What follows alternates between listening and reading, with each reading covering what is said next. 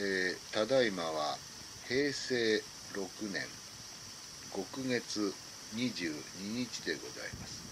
えー、今日はちょっと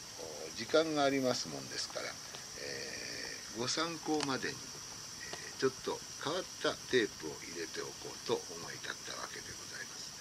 えそれは五目公爵というテープであります、え五目飯と同じで五目っていうくらいですからもうめちゃくちゃに混ざり合っているという意味でしょう。でこの五目公爵というのはそもそも私が昭和27年に日本電報通信社後の株式会社電通に入社をいたしました時にその当時は民放が発足したばかりで局に制作体制が完備しておりません、えー、広告代理店が番組までこしらえましてこれに CM も入れまして、えー、それを送ります。これを完パケ完全パッケージと言ってましてえこれを送り込むと放送局はただそれをかけさえすればいいというような時代で、え、電通は後にはコマーシャルしか作らなくなりましたけども当時はまだ番組を作っておりました関係。それでまたその戦後昭和27年というとまだ戦後7年しか経っておりませんで、えー、アメリカとかそういうものに若い人がうつつを抜かす時期ですから古典芸能の若手の社員なんていうのはおりません。でそこで私は雑巾がけや当社番釣りを免れて、えー、いきなりプロデューサーということになりまして古典芸能を担当することになりましたでそこで古今亭新章師匠などと、まあえー、婚になるわけでありますけども、えー、その時に大和証券が提供しております番組に名士のお箱というのがございました。でこれは渋沢秀夫さんというあの文化人でご存知かと思いますがこの方があ、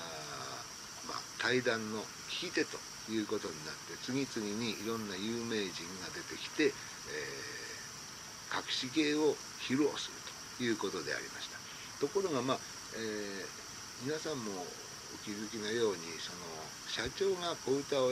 なさるとかまあいうようなものですけどもそれ自体あんまり面白くないんで、えー、番組の人気が立ちません。でそこでやはりこれは新庄市長のような人にちょっと普段やらない隠し芸に近いものをやっていただくのがいいだろうということで、えー、新庄のお父っつぁんに、えー、これをこの話を持っていったわけです。た新庄さんがそれじゃあ五目講釈というのをやりましょうと言われますので、えー、どんなもんですかねって言ったら「やりゃ分かります」あそれはまあそうでしょう。ということからスタジオへお見えになります。でやったのがこれでございます。でその時新庄さんが言われましたに、えー、昔はまあ講談と言わずに講釈といったもんだけども、えー、講釈の寄せっていうものは尺場といって講釈の場ですから尺場でしょうね。尺場というんだこれはその落語の寄せと違って楽屋というものがなかったそうですね、えー、三宝取り払いと言いまして、えー、客席の一番奥のところにえ、四角い形の箱の大きいようなものがこうある。でそれに座布団と、えー、尺台という、えー、ぶったたく机が乗っかっている。でそうするとお客の中を分けて講釈師は入ってくると、まあ、こういう形であったそうでございまして「はいごめんよはいごめんよ」と言いながら講釈師というのは客席の後ろの方から登場してこの「箱の親分みたいなものの上へ乗ると、まあ、こういうことですから三宝取り払い、えー、その箱の三宝から見られる、まあ、後ろは壁になりますから、えー、後ろへは回れませんけどそういう構造だった。で 落語家と違って講釈師というのは武士のまあ、浪人者が食い詰めて天下の記録を読むとかなんとか言って、まあ、太平記のようなものを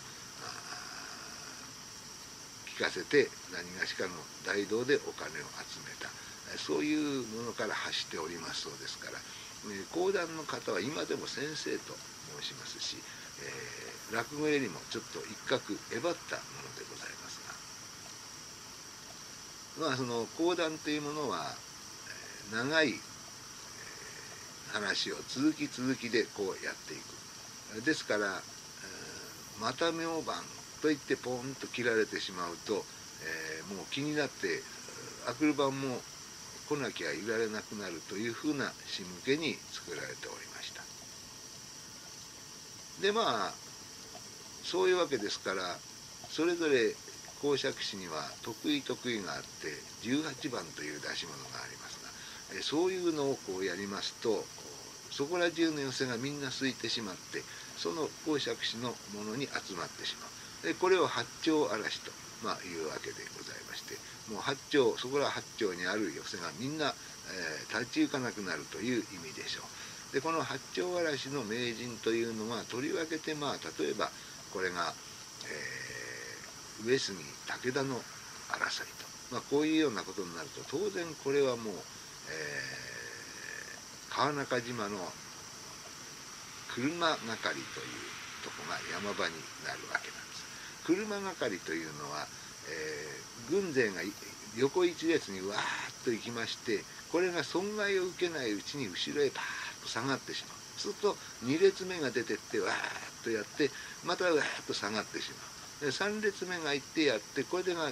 5列6列とやってるうちに最初に出ていった方が体力を回復してくるからこれは永久にこのぐるぐるローテーションができるという。でまあ車懸かりっていうのはローテーションというふうに言うのかもしれません。で武田信玄というのは由来衆寡敵せずといって小人数で大人数に勝つということは大変なこと。だから全て大軍を催してやるのが安全だというので衆寡敵せずという言葉を、まあ、信玄はモットーとしていたわけでそこでその川中島でも車係っていうのをやるわけででそこのところをまあ語るのがこれが山場になりますがこの山場をやってしまうとアクル板からお客が来なくなるという都合があるから、え公爵士はなかなかその車係へ持っていかないわけだ、え、明日あたりじゃないかってんでみんなが来ると。いうようなもんですからもう何日も何日も通い詰めていま、えー、だにその車係行かないというようなことになるとお客もイライラしてる。そこで「はいごめんよはいごめん」先生と言われる講談のことですからそれは天下の記録を読む。今でも一席で終わっちまうものが読み切りと言っておりまして、えー、続きものと読み切りがあるわけですが続きものになりますと本を、懐へ入れて登場してこの釈台のとこへ本を広げて、えー、講釈ですから、えその読み上げるような感じでやるというものです。でそこでこの懐をこう膨らましましてな先生っていうのは新聞屋が夕立を食らったような格好をしてこう登場してくる「はいごめんよ。はいごめん」「ああ先生。ああなんだな。えー、車係はまだかね。もう4日も5日も通っちゃってまあ困っちゃってんだけどね。おお気候は4日も通われた。かええー、4日どこじゃない。5日だ。ああそうか。早くやってもらいてえもんですかね。ああまだまだだな。まだまだ。じゃいつです？まああと45日はかゆい。なんて。えばってる。でこれが上がる。上がるとこの針扇と申しまして、えー、扇の形にしてありまして要するに扇の親骨だけを残したところを和紙でもって扇の形に張り固めたような、えー、針扇というのがこの張り倒すっていう言葉はこれから出るぐらいでこのこれでこの尺台を引っ叩いて調子を取るわけだ。ですから上がっていくとみんながざわざわしておりますから。そこでこのというふうに叩くとお客がまあ一応シーンとなる。しかしながらうまい講釈師というものは決して最初から大きな声は出しません。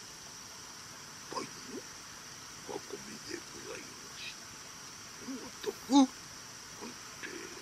申し上げます全席を打ってござりまして席は打ってござりましてなんつってよく聞き取れないそうするとまたお客の中にはつぶったやつがいてな。あの先生はうまくなったな。うん、うまくなった。うまくなった。聞こえねえもの。なんて。聞こえないぐらいならうちで寝てたら良さそうなもんでございまあ、そんなふうなことでワイワイワイワイ。そこでこの先生がやると、まあ、こういうふうなものが講釈というものでございます。でこのこれから聞いていただく五目講釈というのはこれは講談の人はこういうものはまああんまりやらなかったでむしろこの落語の人が講談を真似してやるというふうなものであったようでございます。えー、このように落語の中で講談を実際にやる羽目になるという出し物はくしゃみ講釈というのはこれは有名でございます。で昔の落語家っていうのはやはり講談というものをきちんと習っていたと見えましてこの古今亭新章さんもそうですが、ー、三代目三遊亭金馬さんというこの人なんかもこの五目合釈なんとかになりますといやくしゃみ合釈なんかになりますともう非常にきちんとした講談を聞かせましてある意味で言うとあの当時でもこれだけの講談をきちんとできる講釈師が今本業の方にいないなと思うぐらいなものであったのです。でまあ新章さんはそういうわけでこの講釈をやってくれましたがこの中身たるやこれはもう、えー、清水の次郎長と加藤清正と脱気能百と日蓮上人が、えー、一緒に出会って、えー、どっか行っちゃうなんていうそういうまあ、えー、誠にこの面白いといえば面白いまあ精神分裂のような大脱線の講談でございます。でそれが大脱線は後でしていくんですけども前半だけはきちんとしたこれは講釈の技法を踏まえていくというところがこれはまあミソなんでしょう、えー、そういうわけでございますから、えー、もう40年も前のもので、えー、うろ覚えのところもあったりするのを、まあ、ご勘弁願ってちょっとその五目講釈というものをお聞きいただこうかと思います。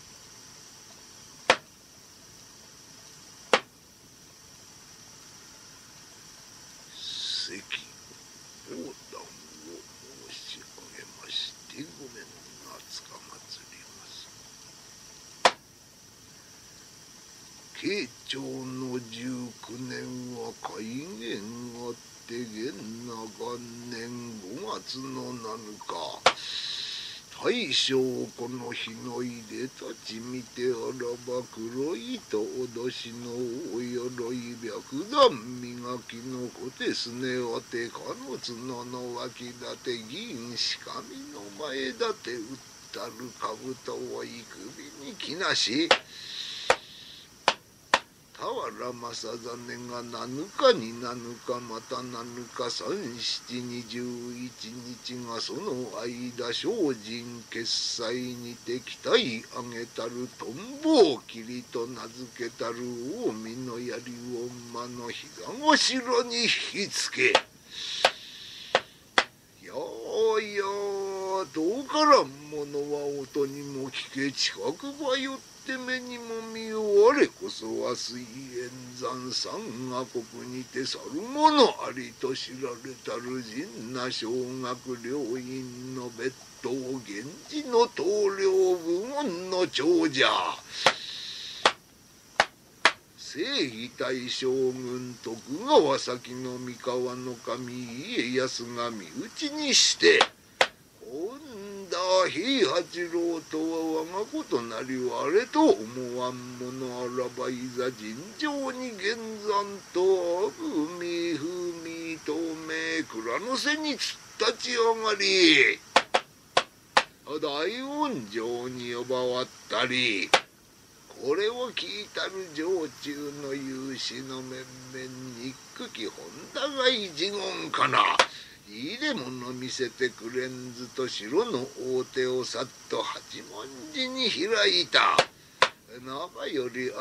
れいでたる者は後藤また米元継ぐ万段右衛門直行鈴木田灰との小金助勘い方を解説するが武蔵坊弁慶結の小説藪原兼業我も我もと乗り出したが本田一人の働きにて秋の子の葉の散るごとくむらむらパッと逃げ去ったり逃ぐる敵には目中けそ目指すは時政一人と馬の頭を立て直してやよそれに打たせたもうは桓武天皇九代の皇院心中納言平の友堀と見受けたり敵に後ろを見せたもうは卑怯なりいざ尋常に現山と扇を上げてますさし招けば敵に恋をばかけられて何の猶予のあるべきやと。集まり駒を引っ返せば熊谷も進みより。えいやむんずと組を打ち兜のしころをひっちぎられ子は金輪じと浅い名は浜辺を刺して逃げてゆく。ここに一つの不思議という殺しも6月末つかたよもの山々雪解けかけて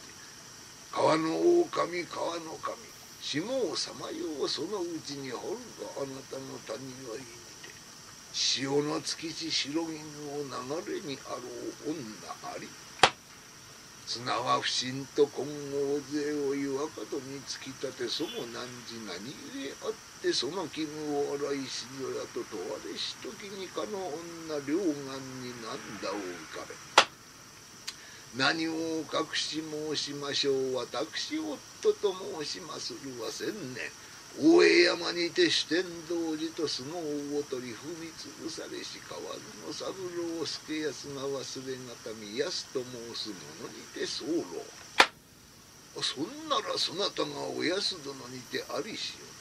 我も思えば七年以前篠田の森にて悪右衛門に借りん出され死ぬる命を安な殿に助けられ再び花咲く乱菊の千歳をへたる女狐お狐初音の鼓尋ねんと春はるばるっこへ金の国今同心はおわさずやと。登って聞けばその人は東の住まいと聞く悲しさ。またも都を迷いで過ごすの帰る道すごろやばこすし死にでわい。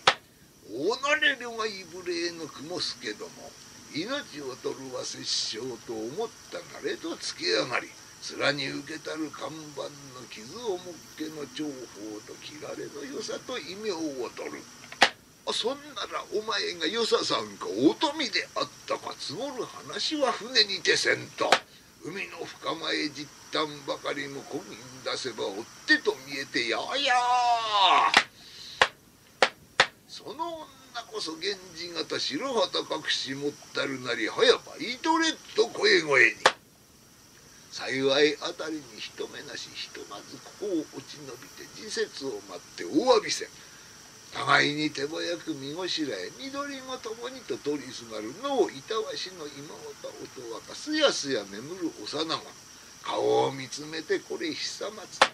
それほど嫌な自らを女房にするとなぜ言うたたとえこの身は鱗図の餌食となるといえどもこの川や若渡らいでおくべきかと日高の川へざんぶりと道成寺へと突きにけり。この金の中こそ怪しやっと金利金利と七巻藩に巻いて上がった首は豪州は瀬田の唐橋へにおっきと現れたり。これを眺めし平将国平の清盛うんにっかきムカデの振る舞いかな多少あるあれを討ち取れと下地の一声心へ候なりとバラバラと現れたのはこれな下野の国の住人那須のよい一宗高は村重党の弓を満月のごとくに引き絞りのっぴきヒューと切って放てば誤たず。次のぶ殿の胸痛い橋と立って真っ逆さま落ちゆく先は九州相良うちの村をば金置村よ鈴木門戸という侍は女房持ちにて子供が二人姉が宮城の妹が忍ぶ親の敵の工藤左衛門助経を歌んと。頃は研究の4年中の8日のさみだれに。富士の裾野へ忍び込む。この物事に播州赤穂の主円や半眼高貞の家来堀部安兵衛竹常は親の譲りの関の孫六三分過ぎの一頭の裏と表の目釘を示し千里一頭き虎の小走り田端の馬場へと駆けつける。夫の後をしたいし松田さゆ姫。のうこれ待った稲川殿。呼べと叫べど雲かすみ夫の命に関わる大事。私もこれから相撲場へと帯引き上げて出会い頭に現れ入れたる一人は